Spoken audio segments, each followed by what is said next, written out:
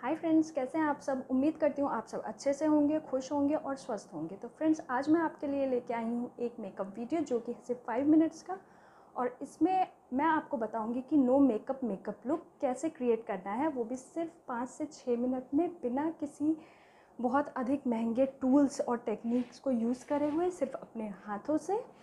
तो फ्रेंड्स देख जानने के लिए और देखने के लिए कि कैसे कर सकते हैं हम ये मेकअप लुक फाइव मिनट्स में, उसके लिए जुड़े रहिए मेरे ब्लॉग के साथ। और अगर फ्रेंड्स आपको ये ब्लॉग पसंद आए तो please please please like share और सब्सक्राइब करना बिल्कुल ना भूलें और वो जो बेल बटन है, उसको दबाना बिल्कुल ना भूलें।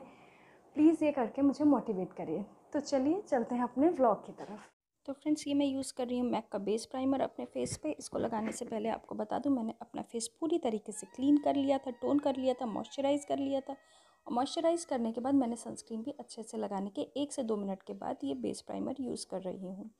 ये है मैक का फ्रेंड्स और इसको लगाने का मेन पर्पज़ ये है कि फाउंडेशन अंदर पेनिट्रेट करके हमारी स्किन को डैमेज ना करे बिल्कुल भी। अब फ्रेंड्स इसके बाद मैं लगाऊँगी करेक्टर जो कि होता है, जिसका मेन काम होता है पिगमेंटेशन को कवर करना।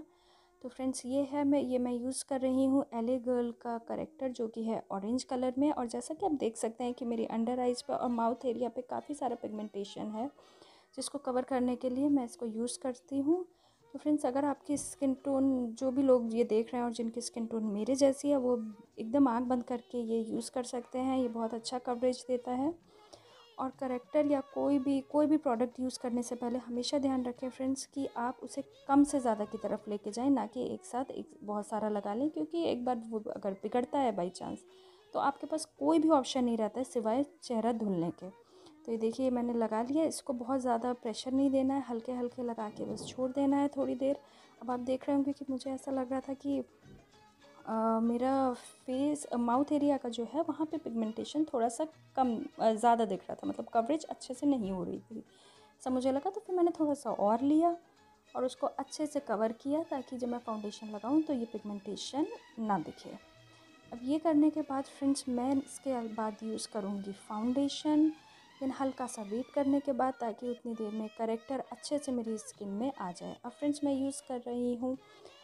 फाउंडेशन जो कि है हुडा ब्यूटी का फॉक्स फ़िल्टर फाउंडेशन और शेड था बटर पिकन फ्रेंड्स इस फाउंडेशन की सबसे अच्छी बात है कि यह है फुल कवरेज फाउंडेशन लेकिन इसमें एक सबसे ख़राब बात भी है कि क्योंकि ये क्रेम बेस्ड फाउंडेशन है तो बहुत जल्दी से ड्राई होता है। फ्रेंड्स आप देखेंगे कि मैं ये डॉट डॉट डॉट डॉट करके फाउंडेशन अप्लाई कर रही हूँ। ऐसा इसलिए क्योंकि आज मैं ब्यूटी ब्लेंडर का यूज़ नहीं करूँगी। तो जब उसका यूज़ नहीं करेंगे तो और हम उस वे में लगाएँगे फाउंडेशन तो बड़ा पैची सा लगेगा। इसलिए कभी भी आपको अगर अपने फिंगर से फाउंडेशन लगाना है तो यूज़ दिस मेथड इससे क्या होगा कि आपका फेस कभी भी पैची नहीं लगेगा। और फ्रेंड्स कोई भी क्रेम बेस्ड फाउंडेशन लगाने से पहले प्लीज़ प्लीज़ प्लीज़ ये ध्यान में ज़रूर रखें कि उस फाउंडेशन को जितना भी आपको लगाना है उसको लिया और उसके साथ एक या दो ड्रॉप ऑयल सिरम या फिर मॉइस्चराइज़र जो कुछ भी है आपके पास, उसको मिक्स करें। और उसके बाद लगाएँ। उससे क्या होगा, उसकी कंसिस्टेंसी थोड़ी सी डाइल्यूट हो जाएगी, जिसकी वजह से वो अच्छे से ब्लेंड कर जाएगा आपकी स्किन में और आपको ज़्यादा मेहनत नहीं करनी पड़ेगी। इसमें आप देख सकते हैं कि मेरे को हल्की मेहनत करनी पड़ रही है क्योंकि मैं जल्दी में थी और मैं कुछ भी इसमें मिक्स करना भूल गई, जिसकी वजह से ये हल्का सा ड्राई हो गया है। इस, ये बहुत जल्दी ड्राई होता है फ्रेंड जो भी क्रेम बेस्ड फाउंडेशन अगर आप यूज़ कर रहे हैं तो वो बहुत जल्दी ड्राई होते हैं। तो always prefer either water based foundation or if you're using the high coverage foundation, please mix some serum, some moisturizer, oil, coconut oil, कुछ भी एक से दो ड्रॉप आप उसमें मिक्स कर लें।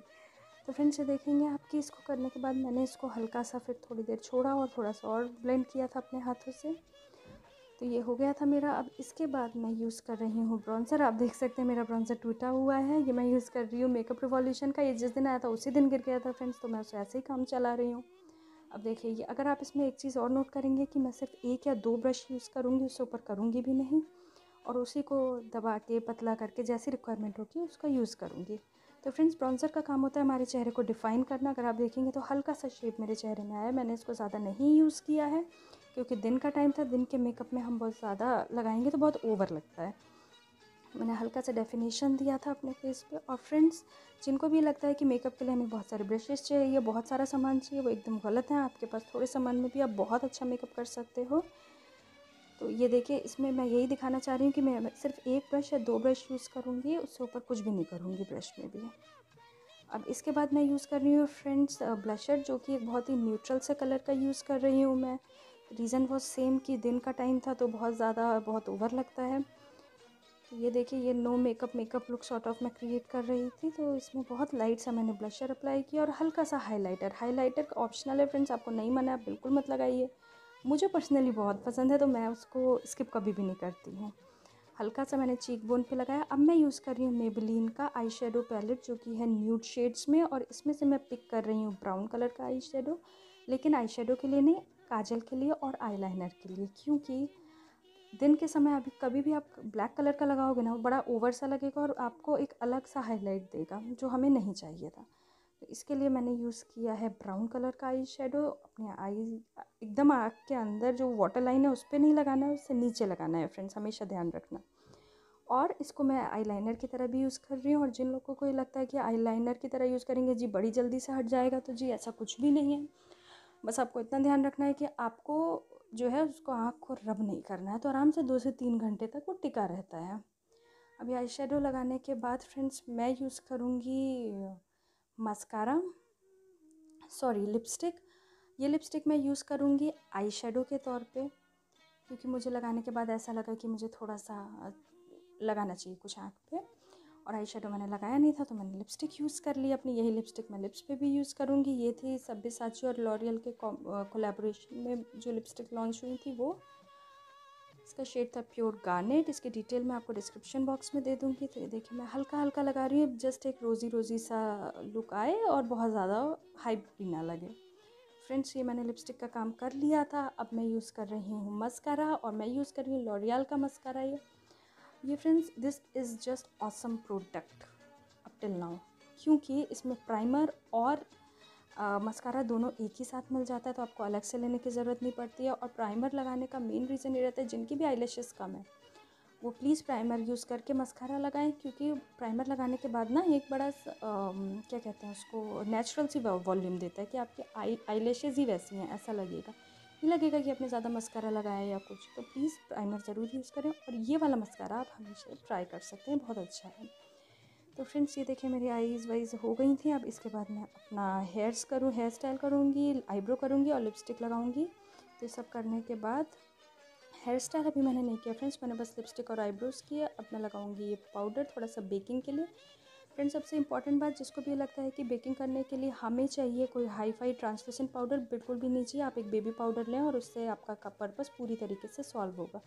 तो ये देखिए फ्रेंड्स ये करने के बाद अब ये है मेरा फाइनल लुक जो कि एक सिंपल सा लुक है। होपफुली आपको पसंद आया हो ये लुक तो फ्रेंड्स आपने देखा कि मैंने कैसे मेकअप लुक क्रिएट किया। होपफुली आपको ये पसंद आया होगा और अगर आपको पसंद आया है तो please like share and subscribe और फ्रेंड्स अगर आप चाहते हैं कि मैं आपको मतलब अगर आप चाहते हैं कोई स्पेसिफ़िक टॉपिक कि इस पर ब्लॉग बनाना है तो प्लीज़ कमेंट सेक्शन में ज़रूर मेंशन करिए। मैं अपनी पूरी कोशिश करूँगी कि मैं उस पर आपको ब्लॉग बना के दे पाऊँ। चलिए फ्रेंड्स मिलते हैं अपने नेक्स्ट ब्लॉग में। Bye bye